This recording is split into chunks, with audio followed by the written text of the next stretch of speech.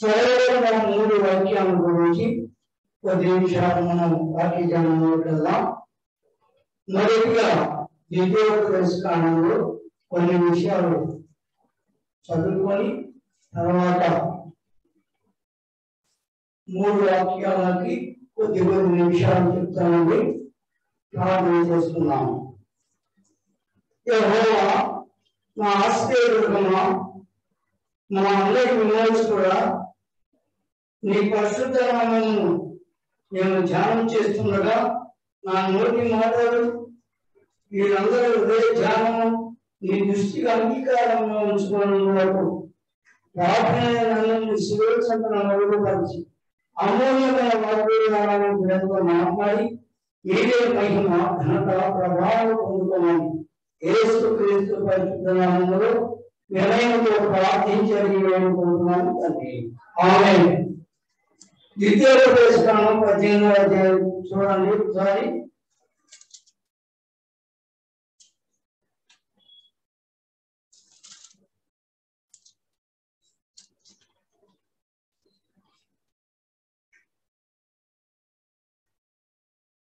మొదటి వచనాన్ని జ్ఞాపకం చేసుకున్నామండి యాజకుడైన లేవీలకు అనగా లేవీయులందరికీ ఇస్రాయేలీతో వాళ్ళైన స్వాస్థ్యమైన ఉన్నది వారు యెహోవా భూమతులను తిండు అది వారి ఆకు ఈ మాటలు ఎందుకు చదివామంటే మోసే భక్తుడు ద్వితీయోపదేశ కాలంలో వచ్చినట్టు ప్రజలు ఉంటారు ఐదు ప్రాణాలు కూడా మనకి పాట విభాగంలో ఐదు పుస్తకాలు ఇది ద్వితీయోపదేశం చేసుకోండి రెండవసారి బోధించడం మోసే భక్తులు ఇస్రాయేల్ ఏమి చేయాలో వారు ఎలా నడుచుకోవాలో దేవుని ఎలా సేవించాలో? దేవుడు రోషం కలిగే దేవుడు కనుక బలవంతమైన దేవుడు కనుక ఆయన్ని ఏ రకంగా ఆరాధించాలో మోసే చెప్తూ ఈ మాత్రం అంటున్నాడు. యాజకుడు యాజకులైన లేవీలైన అనగా లేవీ గోత్రులందరికీ ఇస్రాయేలుతో పాడైన వారికి ఆయన ఏం చెప్తున్నాడు? శ్వాసము ఇస్రాయేలుతో ఉండడు లేవీలే వాడు లేవీ అయితే ఇస్రాయేల్తో పాల్గొన్నాడు వారు దేవుని నుంచి చేయాలి వారు ఆ దేవుని సన్నిధిలో వచ్చి కొన్ని మాత్రమే వారు ఆచరించాలి అది ఆయన నియమం. అందుకని ఆయన ఆ మాట చెప్తూ ఇరవై వచ్చాను చదవండి ఒకసారి. అంతేకాదు అంతేకాదు ఏ ప్రవక్తయు అహంకారము కూని అహంకారం పోయి నేను చెప్పమని తనకు ఆజ్ఞాపించని మాటను నా నామమున చెప్పును. నా నా- నామమును చెప్పును. ఇతర దేవత నామమున చెప్పును. ఆ, ఆ ప్రవక్తయును చావగలను. ప్రవక్తలు చాలా మంది దైవసేవకులు కూడా నాకు దర్శనం వచ్చింది. దేవుడిని నేను చూశాను. రాత్రి దేవుడు నాతో మాట్లాడాడు అని సంఘాన్ని మాట్లాడేది. నాకు కలవస్తున్నాయి నేను వాక్య పరిచయం చేస్తాను. నేను చెప్పిన మాట సత్యంగా నెరవేరుద్దని చాలా మంది అబద్ధ ప్రవక్తలు బోధ చేస్తున్నారు. దాని గురించి మోసపత్రి విద్యోపదేశ మొదటిగానే చెప్తున్నాడు అంటే మీరు అనవసరమైన మాటలు చెప్తున్నారు. చాలా ఉన్నాయండి. ఇది పద్దెనిమిది అధ్యాయం మొదటి నుంచి ఇరవై రెండు వరకు ఉన్నాయి. అయితే నేను నీకు కొద్ది మాటలే రాశాను. పోటీ కదా. అయితే ఆ మోస చెప్పిన మాటలు ఏది తక్కువ కాకుండా కొన్ని మాటలు ఇక్కడ చూద్దాం చూడండి. ఏ ప్రవక్తయు అహంకారము పూని? ఇప్పుడు చదువుకున్నాం కదా అహంకారము పూని నేను చెప్పమని తనకు ఆజ్ఞాపించిన మాటలు నేను వారికి చెప్పమని ఆజ్ఞాపించకుండా వారు చెప్పిన మాటలను వారు ఆ మాటలు కాకుండా వారు స్వయం శక్తితో జనానికి బోధిస్తూ వారి తప్పు మార్గంలోనికి అవిశ్వాసంలోనికి సాధారణ బంధంలోనికి యాజకులే నడిపిస్తున్నారు. మీరు అట్లా ఉండకూడదని మోసి రాశారు. చూడండి ఇక్కడ పదమూడవ అధ్యాయం ఐదవ వచ్చిన చదువుతాం. పదమూడవ చదవండి. మనం నీవు నడవమన్నది. నీ దేవుడైన యెహోవా నీకు ఆజ్ఞాపించిన మార్గములో నుండి ఆ, నిన్ను తొలగించినట్లు ఐగుప్తు దేశంలో నుండి మిమ్మల్ని రప్పించి ఆ, గృహంలో నుండి మిమ్మల్ని విడిపించిన మీ దేవుడైన యహోవా మీద తిరుగుబాటు చేయుటకు మిమ్మల్ని ప్రేరేపించిన కనుక ఆ ప్రవక్తకేమి ఆ కలలు కనువానికేమి మరణ శిక్ష విధింపవలను. అటు నీ మధ్య నుండి ఆ చెడుతనమును పరిహరింపవలను. ఈ చెడుతనము మన మధ్యలో తీసివేయాలంటే దేవుని చిత్త ప్రకారము మనం నడుచుకోవాలి. ఒక మాట చెప్తాను మరి మన ఆత్మీయ తల్లి గారు దేవుని సన్నిధిలో ఉన్నది. అయ్యగారి మన మధ్య ఉన్నారు. వారు ప్రార్థన చేసేటప్పుడు అమ్మగారు అంటారు "నువ్వు దిగులు పడవద్దు విశ్వాసంగా ఉండు జరుగుద్ది అని అంటారు అమ్మగారు. అయ్యగారు అంటాడు జరిగిందిగా నీకేం కాదు అంటాడు కరెక్ట్గా చెప్తారు. నేను కొనాలనుకున్నాను. నా పుట్టుక అంటే రెండోసారి జన్మించడం మూడవ సమయంలో కనుక కొన్ని కట్టుబాట్లతో నేను బ్రతికాను. ఇది కాదనుకొని నేను బయటకు వచ్చాను. వేరే విషయం.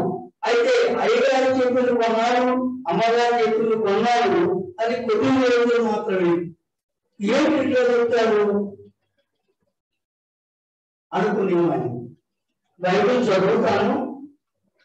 అయితే స్వయంగా నా కూతురికి కొన్ని విషయాలు జరిగినాయి. ఆ మనగాళ్ళకు కొన్ని విషయాలు జరిగినాయి. వారంగా చెప్తే నాకే కొన్ని విషయాలు జరిగినాయి.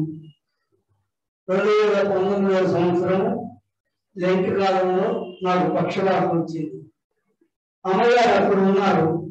ప్రార్థన చేసి నీకేం కాదు విశ్వాసంగా ఉన్నారు అది ఒక తర్వాత చర్చికి వచ్చాను. దేవుడి నెలకి చర్చి వచ్చినప్పుడు అయ్యగారి చేత ప్రార్థన చేసుకుంటే నీకేం కాదు? నువ్వు పరిచయం చేస్తావు. వెళ్ళిపోతావు పో అన్నాడు. అది ఎవరు దేవుడు మాటలు చెప్పేవాళ్ళు అట్లా. అలాగనే నాకు నేను రోదన సంఘంలో రాగ కోటేశ్వరరావు గారని మరి అయ్యగారు తమ్ముడు ఉంటాడు. ఆయన ద్వారా వంద మీటింగ్కి మేము వెళ్ళాం. నేను కోల ఇమ్మనేది గారని ఆయన భాస్కర్ గారు నేను చాలా దగ్గర తిరిగాం. సరే ఎట్లంటే ఇంత లెక్క తిరిగితే చాలా మంది చూశాం కానీ అలాంటి చెప్పేది కొంతమంది ఉన్నారండి. వారు జనాన్ని మోసం చేయడానికి ఒక భాష గారు ఉన్నాడు మా ఇంటికి వస్తాడు. నాలుగు సార్లు తీసుకెళ్ళాను. ఆయన వాడతాను ఆయన ఏమన్నారంటే ఒక ఇంటికి వాళ్ళు భోజనాన్ని పిలిస్తే మీ ఇంట్లో పవిత్ర ఒక ఐదు వారాలు ప్రార్థన పెట్టుకో. బాగుంది ముందు వాళ్ళని అడుగుతాడు మీకేమేమి గొప్పలు బాధలు ఉన్నాయి ఇవన్నీ ఎందుకు చెప్తున్నానంటే ఈ విజయోపదేశ కాలంలో మనకు ఒక ఆజ్ఞ ఇచ్చారు. దానికోసం చెప్తున్నాను. అప్పుడు వారు వాళ్ళ కుటుంబాల గురించి చెప్తే ఆ బలహీనతలను చోటు చేసుకొని ఇంకేం పర్లేదు ఐదు వారాలు ప్రార్థన పెట్టుకోండి ఐదు వారాలు నేను వస్తాను. నాకేమీ లేదు అర్థం నిత్యం మీ చిత్తం అని అంటాడు. అలా అంటాడు. అట్లా నాలుగు సార్లు నుంచి అరవై సార్లు కూడా విజయం మాట చెప్తే అక్కడే అన్నాం నీవు ఇక్కడ వాక్యం చెప్పడానికి వచ్చావు మా ఊరు. వాక్యం చెప్పే కదా. వాళ్ళ బలహీనతలు వారి కొన్ని సంగతి చెప్తాను. ప్రవర్తన కాదు కూడా. ఎందుకు నువ్వు అట్లా చెప్తావు వాళ్ళు?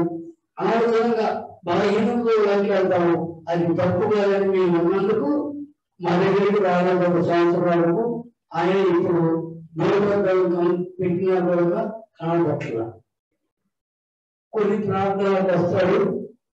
అసలు ఏమీ బాగలేదు అతను దేవుడే శిక్షించాడు నీ నిన్న నేను చెప్తున్నానంటే మనము దేవుని యొక్క దైవత్తులు కలిగి ప్రార్థన ద్వారా స్థిరపడి మనకు దేవుడు ఇచ్చిన వాక్యం ద్వారా మనం నడుచుకోవాలని మోసే భక్తుడు పాత నిబంధన కాలంలో చెప్పాడు. అలానే ఇరిమియా ప్రవక్త పద్నాలుగు పద్నాలుగులో చూద్దాం.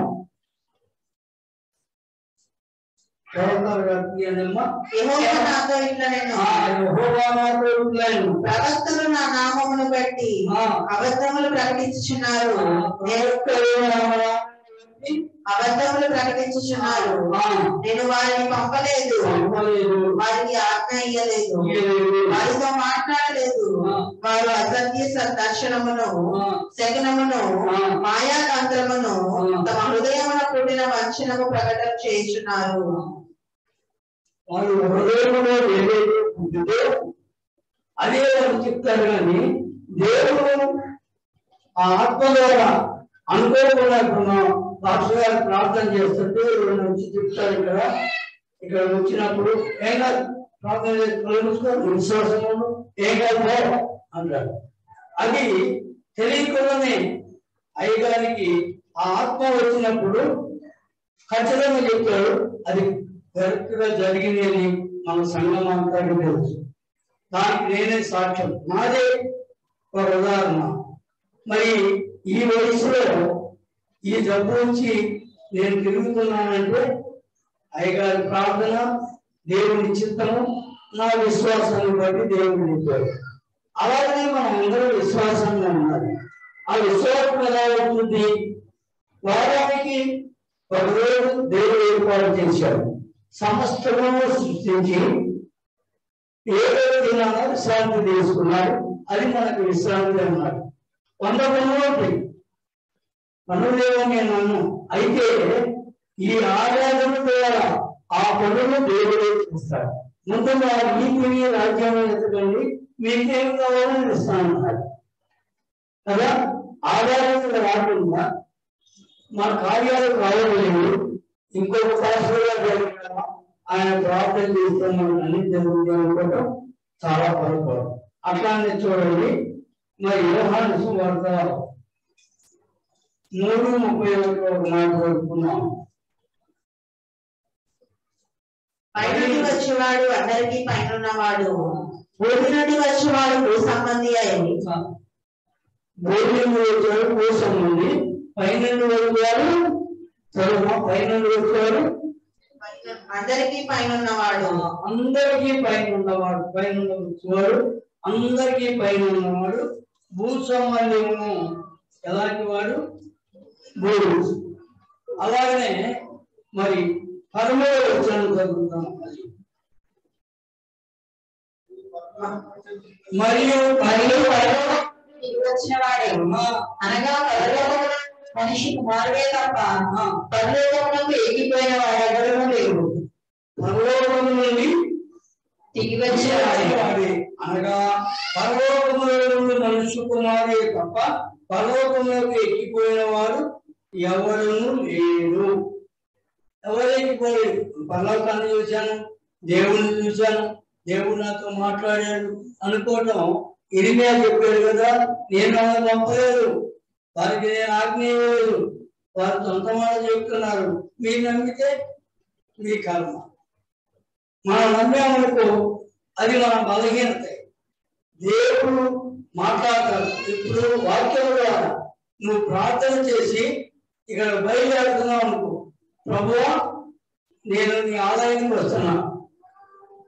నేను ఎలాగో ప్రార్థన చేయాలో నాకేమి కావాలో నాకు తెలియదు. సమస్తం నేను చూసుకున్నానంటే నీకు ఏమి కావాలో దేవుడు నీకు సిద్ధపరుస్తాడు. ఎవరికన్నా అనుభవం ఉందా? సరే అలా ఉంచండి. అలాగా ఎనిమిదో అధ్యాయము ఇరవై మూడు చూడండి యోహాను సువార్తలోనే ఎనిమిది ఇరవై మూడు.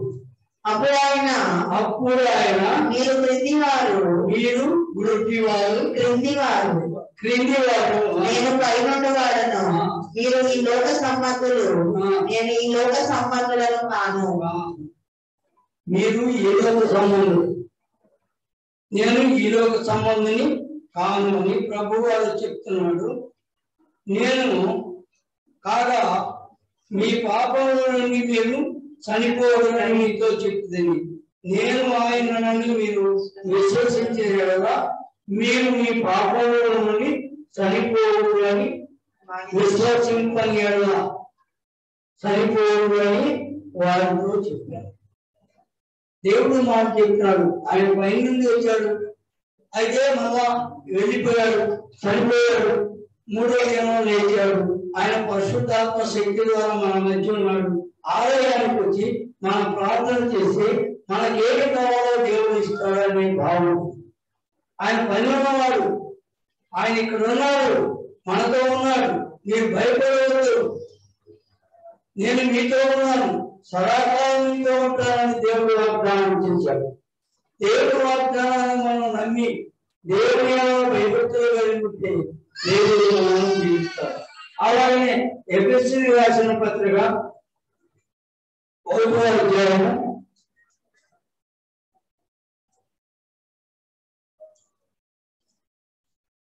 ఒకటో అధ్యాయం ఇరవై ఇరవై ఒకటి.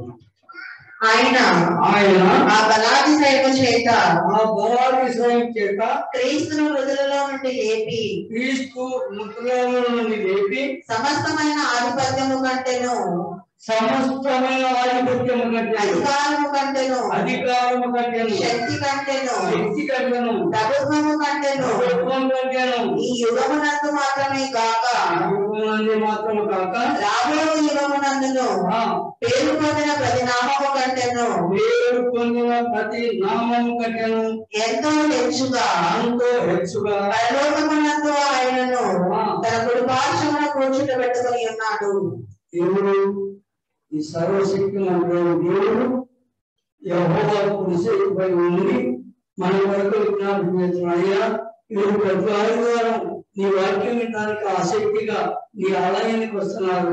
వారు ప్రార్థన చేయడం చేతగారు కానీ వారికి ఏది అవసరమో అది ఇవ్వండి అని మనల గురించి ఆయన కుడి చేతి వైపు నుండి ప్రార్థన చేస్తున్నాడు ప్రభు. కనుక ప్రియులారా ఫిలిప్ రాసిన పత్రిక రెండో అధ్యాయం ఆరో వచనం ఆయన దేవుని స్వరూపం స్వరూపము కలిగిన వాడై ఉండి దేవునితో సమానముగా ఉండుట విడిచిపెట్టకూడని భాగ్యమని గాని ఎంచుకోలేదు కానీ మనుషుల పోలికగా పుట్టి మనుషుని కోరికగా పుట్టి రాజుని స్వరూపము ధరించుకొని నాదుని స్వరూపము ధరించుకొని తన తానే వ్యక్తునిగా చేసుకొని కానీ రిక్తునిగా అది ఏమీ ఆయనకి ఈ లోకంలో ఇల్లు లేదు ఈ లోకంలో సమాధి లేదు ఈ లోకంలో ఎవరు ఆయనకి లేదు ఆయన శిలువ వేసినప్పుడు ఎవరు ఆయన దగ్గర లేదు పన్నెండు మంది శిష్యులు ఉపయోగంలో పదకొండు మంది లేరు. తల్లి ఉన్నది దూరంలో ఉంది నికోలిమని ఒకను వచ్చాడు కానీ అంత అయిపోయిన తర్వాత ఆయన దేహానికి పోయడానికి ఖరీదైనటువంటి శుభ్రంగా తీసుకుని వచ్చారు. ఆయన బతికొండగానే ఎవరు ఆయన సిరివేసినప్పుడు ఎవరు రాలేదు మనుషుల పోలేదు కాబట్టి మన బలహీనతలన్నీ సహించి ఆయన వెళ్ళాడు. అలాంటి దేవుడు మనకు ఉన్నప్పుడు మన సొంతంగా ఏమి చేయకూడదని ఈ పాఠ్య భాగం మనం నేర్చుకుంటున్నాం. మన సొంతంగా నాకు శక్తి ఉంది. నేను పాట పాడుతున్నాను నేను పాట పాడితే ఎవరు పనికిరారు చక్కగా పాడతాను అనుకుంటే దేవుడు నన్ను అంగీకరించాడు. నేను వాక్యం చెప్తున్నాను. నా వాక్యమే సత్యం. నా వాక్యంలోనే మీరు రక్షణలోకి వస్తున్నారు అనుకుంటే దేవుడు నన్ను క్షమించాడు. కనుక దేవుడి చిత్తానికి లోబడి ఆయనకి విధేయత ద్వారా దేవుడు ఎంతో సంతోషపడతాడు.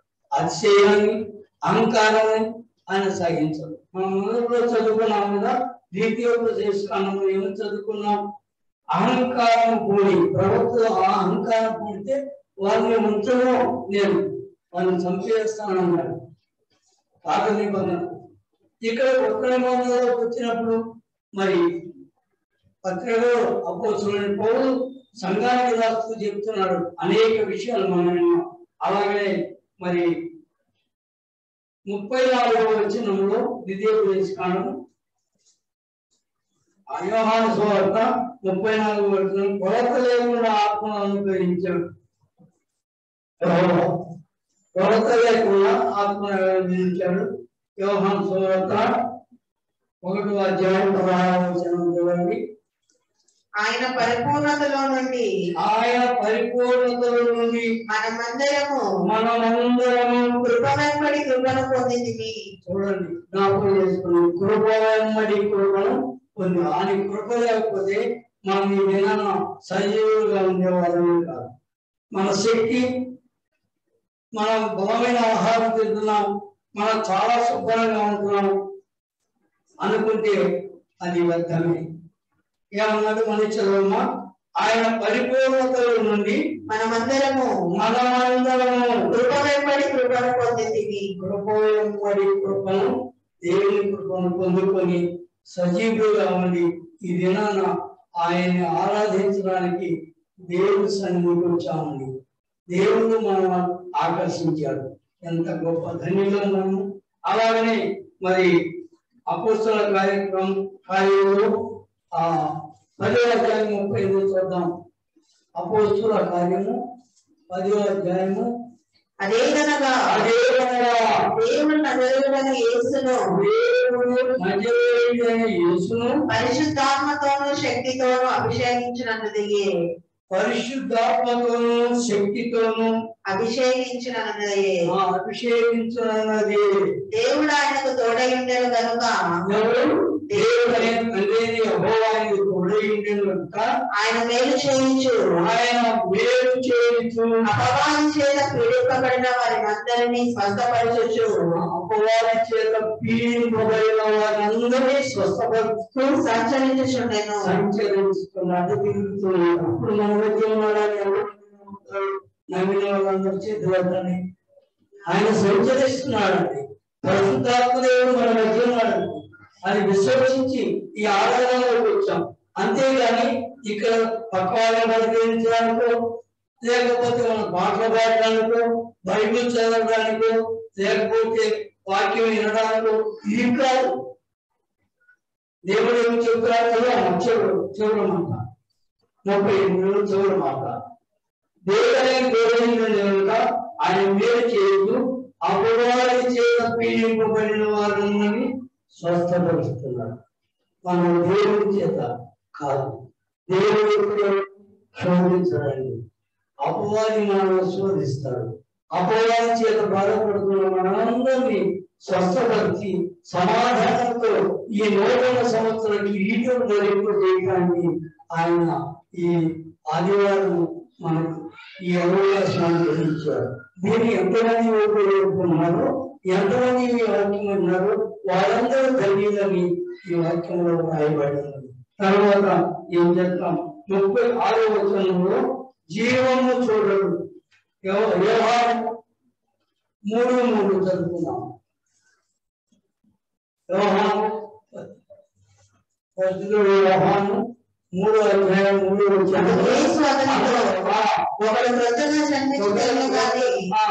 అతడు దేవుని రాజ్యంలో చూడలేడని నీతో నిశ్చయముగా చెప్పుచున్నాను నేను. నిశ్చయంగా చూడగా.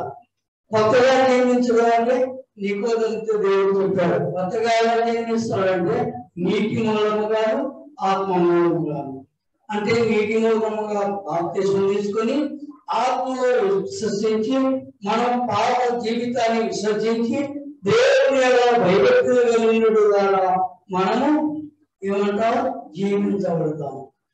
జీవనంలోకి వెళ్తాం. దేవుని ప్రసన్నతను మనం చూస్తాం. ఆయన దేవుని రాజ్యంలో చూడలేడు ఆ దేవుని రాజ్యంలో ప్రవేశింపడని నీతో నిత్యం చూడాలని శరీర మూలముగా జన్మించదని శరీరమును ఆత్మ మూలముగా జన్మించదని ఆత్మయుడని.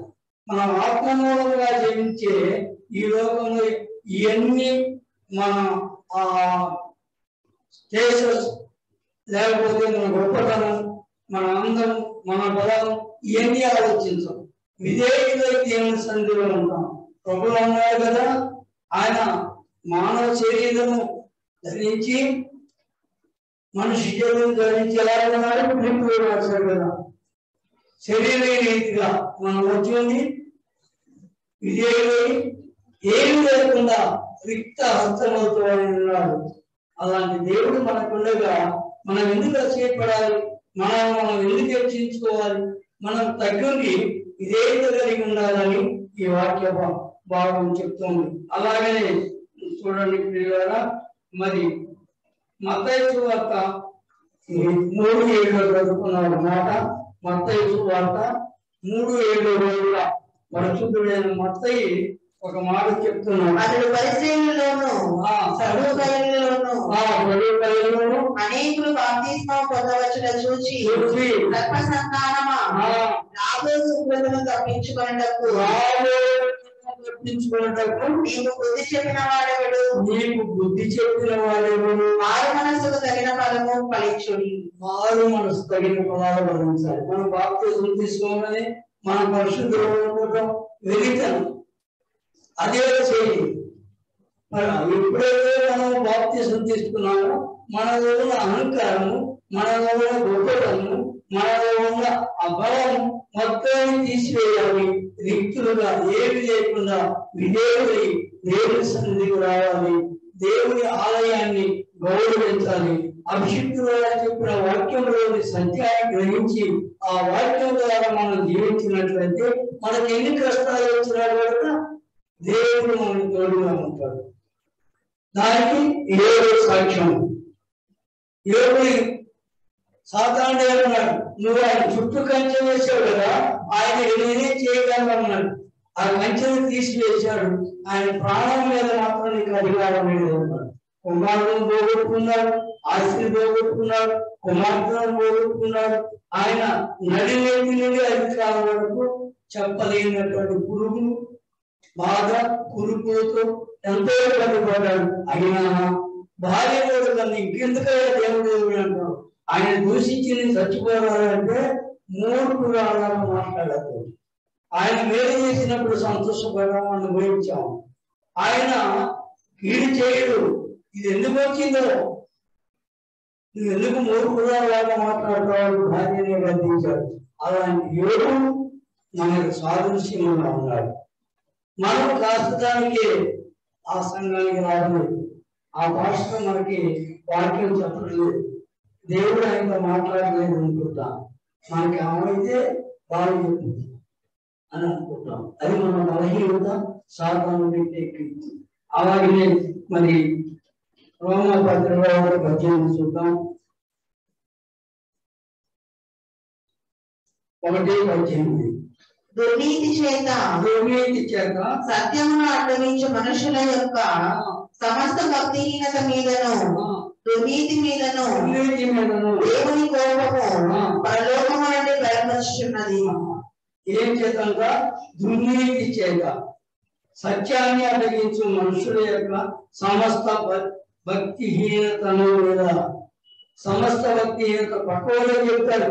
అక్కడ ఎందుకు మా మసీచి బాగా చెప్తాను మా భాష గారు ఇక్కడ ఏమో రావడం కానీ మనం అడిగాము అని ఎవరు చాలా మంది ఉన్నారు అలాగే చాలా సంఘాన్ని తమ విశ్వాసం చూశాను.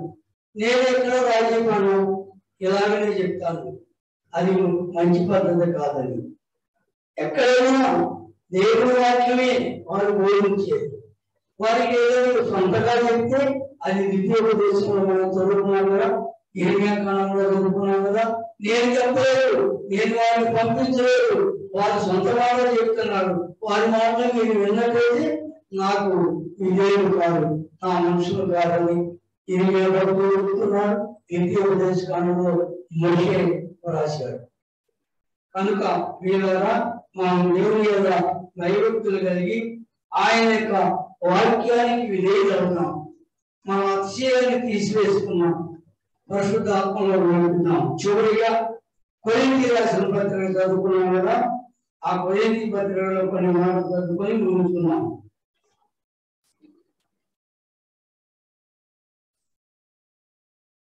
మనుషుల జ్ఞానము నేర్పు మాటలతో కాక ఆత్మ సంబంధమైన మాటలు చూడండి.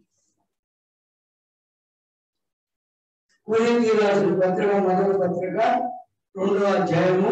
పదమూడు.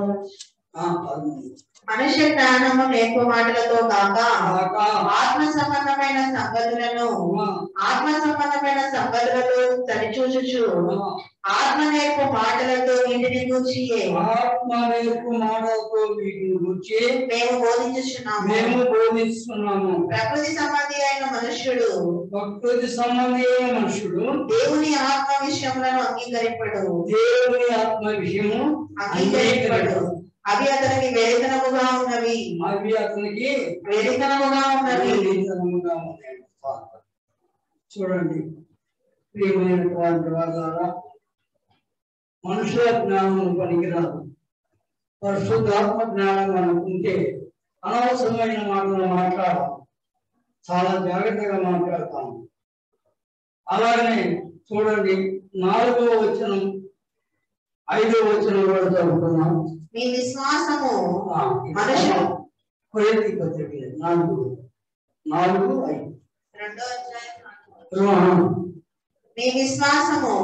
మనుషుల జ్ఞానమును ఆధారము చేసుకొనక దేవుని శక్తిని ఆధారము చేసుకొని ఉండవలనని నేను మాట్లాడినను సువార్త ప్రకటించినను. జ్ఞానయుక్తమైన తీయని మాటలను వినియోగింపక పరిశుద్ధాత్మయు. దేవుని శక్తియు కనపరచు. దృష్టాంతములనే వినియోగించింది.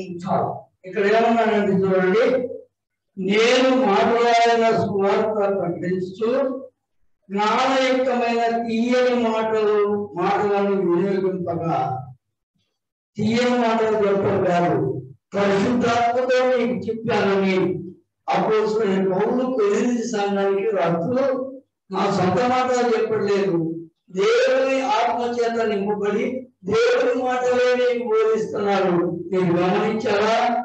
కొరింది సంఘమా? అని వారికి చెప్తూ ఉన్నారు. తర్వాత చూడండి. అదే అధ్యాయము ఒకటి పదిహేడు. పదిహేడు వచనం కూడా. పదహారేనమ్మా కొరింథీ ఒకటి పదిహేడు. బాప్తిస్మమించుటకు.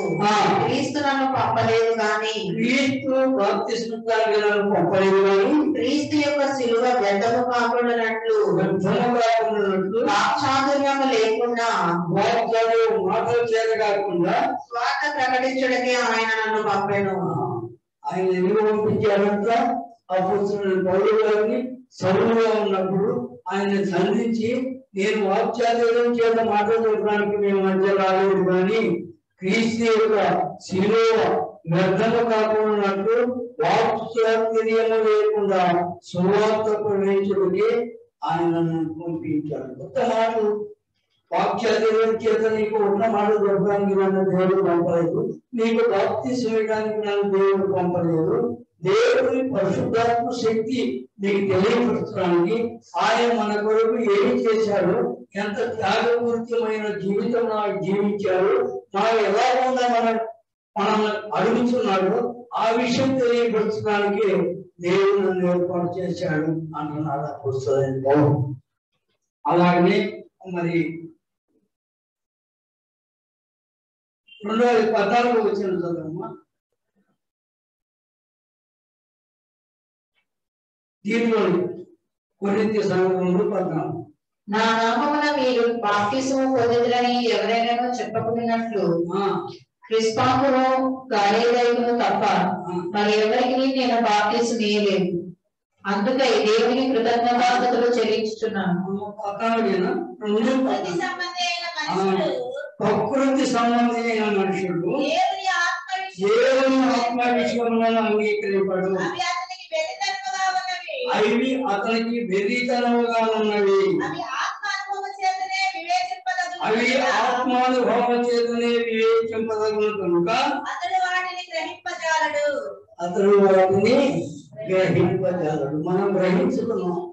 దేవుని ఆత్మ మనలో ఉంటే ఈ వాక్యాన్ని గ్రహిస్తాం. మామూలు మనుషుల ఆత్మ మనలో ఉంటే ఈ వాక్యాన్ని మనం గ్రహించలేము. వాక్యానికి విధేయత కాలేము దేవుని దీవెన పొందుకోలేము. ప్రియులారా గమనించండి. అలాగనే మరి ఆ మూడో అధ్యాయం ఒకటి ఆత్మ సంబంధులైన మనుషులతో మాట్లాడినట్టు. ఆత్మ సంబంధమైన మనుషులతో మాట్లాడినట్టు మీతో మాట్లాడలేకపోతుంది నేను మీతో మాట్లాడలేకపోతున్నాను. శరీర సంబంధులైన మనుషులే అనియు. క్రీస్తునందు పసి- పసిబిడ్డలే అనియు మీతో మాట్లాడవలసి వచ్చెను పసిబిడ్డలాగా మీతో మాట్లాడుతున్నాను. కొరింది చెప్తున్నాడు. మీరు పసిబిడ్డలే క్రీస్తు సంబంధులు గారు క్రీస్తు యొక్క ఆత్మ మీలో లేరు. ఆ ఆత్మను పొందుకోండి. మీ సొంత జ్ఞానంలో కొరింది సంఘానికి చూడండి పౌరు చాలా విషయాలు వేస్తున్నాడు రెండో పత్రిక కూడా వేస్తున్నాడు చాలా విషయాలు. ఇవన్నిటికీ ఏం చెప్తున్నాడంటే వారు అతిశయంగా ఉన్నారు కొరింది సంఘం. తను బలహీనం మేము యూదులము విడలము అయితే యేసుక్రీస్తు వారు వచ్చాడు కదా ఆయన మాత్రం చనిపోయాడు కదా ఆయన కూడా నమ్ముతారు అనేటువంటి కోరిక ఉద్దేశపూర్వకంగా కాకుండా మనస్ఫూర్తిగా కాకుండా మనుషుల యొక్క మెప్పు కోసం ఆయన ఆరాధనకు వస్తున్నాడని అపోస్తున్నాడు పౌరులు మొదలైన మాటలు ఈ రెండు అధ్యాయం రెండు పత్రికలు చెప్తున్నాడు. మొదటి పత్రిక రెండవ పత్రిక. కొరింతకు రాసిన మొదటి పత్రిక రెండో పత్రిక. చాలా విషయాలు చెప్తాడండి.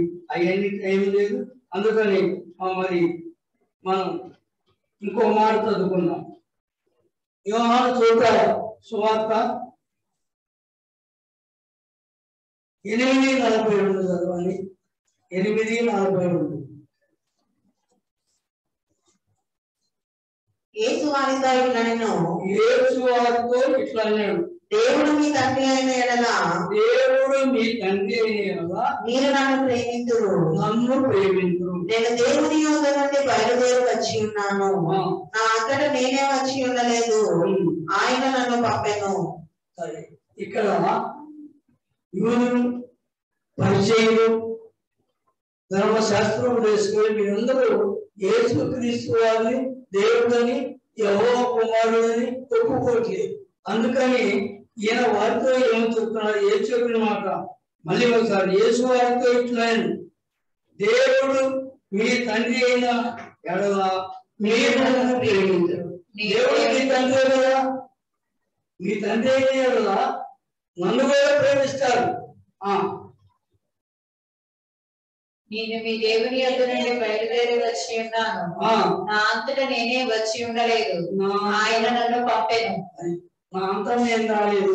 దేవుడే నన్ను మీ దగ్గరికి పంపించాడు. అదేనా నమ్మండి అని ఇంకా కింద ఏమంటాడు అయ్యని నమ్మకపోయినా నేను చేసే సూచక క్రియల వలన దేవుడు నన్ను పంపాడని ఈ కు- సూచక క్రియలు ఎవరు చేయలేదని మీరు విశ్వసించి దేవుని నమ్మి ఆయన నన్ను పంపాడు. నేను లోక రక్షకుడని నన్ను విశ్వసించాలని యూదులకి విశ్వాసులకి ఎన్నో పర్యాయాలు తన సువార్తలో యేసుక్రీస్తు స్వయంగా చెప్పినట్టు కూడా మనం అనేక పర్యాలు చూస్తున్నాం. అందుకని మనము అభిజ్ఞ చెప్పింది రాత ఇది కాదా అని విశ్వసించి అయితే దేవుని ఆత్మ అభిషక్తిలో ఉన్నది. కనుక మనం ఆలయానికి వెళ్ళాలి. దేవుని వాక్యము అభిషిక్తుల ద్వారా ఏమి వస్తుందో అది వినాలి. ఆ వాక్య ప్రకారం నడుచుకొని దేవుని దీవెన పొందుకొని మన కష్టాలను తీర్చుకోవాలి అనుకోవటం ఒక ఆరాధన ఒక నిశ్చయంగా ఉన్నది. కనుక టైం పెద్దలు ప్రియులారా ఇంకా చాలా ఉన్నాయి కనుక పదహారు వచ్చిన చదువుకున్నాం. కొరింతి సంఘం కొరింతి పత్రిక వారు పదహారు వచ్చినాం చివరిగా ప్రభు మనస్సును ఎరిగి. ఆయన ప్రభు మనస్సును ఎరిగి ఆయన బోధింపగలవాడవడు? ఆయన. మనమైతే క్రీస్తు మనస్సు కలిగిన వారము. మనము ఎవరు? మనందరూ ఎవరండి? క్రీస్తు మనస్సు కలిగిన వారము. క్రీస్తు మనస్సు మనలో ఉంటే మనం విధేయులుగా ఉంటాం. క్రీస్తు ఆత్మను మనం పొందుకుంటాం. క్రీస్తులో మనం ఎంతో అద్భుత కార్యాలు చేస్తానికి ఆయన మనం ఎలాంటి వారిమైనా మనం సాధారణంగా ఏర్పాటు చేస్తాడు మనల్ని దీవిస్తాడు మనతో ఉంటాడు. అది దేవుని మాట. అలాగనే మరి గ్రంథం నలభై పదమూడు. ఇంకా త్వరగా త్వరగా చదవండి. నలభై పదమూడు. యెహోవా ఆత్మకు చేసిన వాడెవడు? యెహోవా ఆత్మకు రేపిన వాడెవడు ఆయన మంచిగా ఆయన బోధించి- బోధింపబడిన వాడెవడు? ఆయన బోధింపబడిన వాడెవడు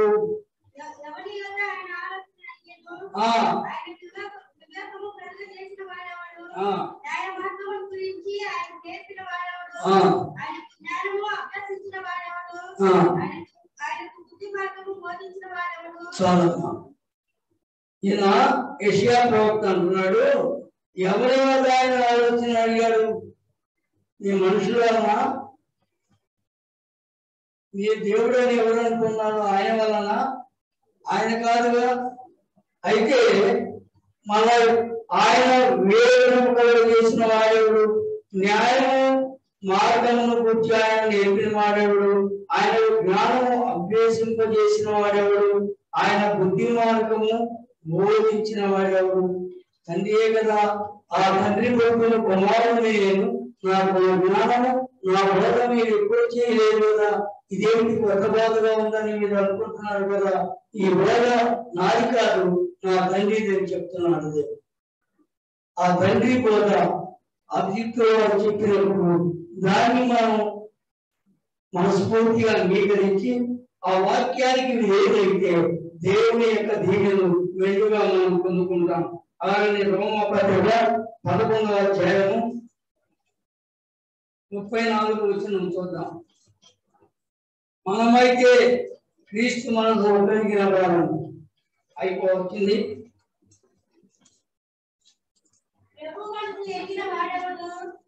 కాదమ్మా. రోమ పదకొండు ముప్పై నాలుగు.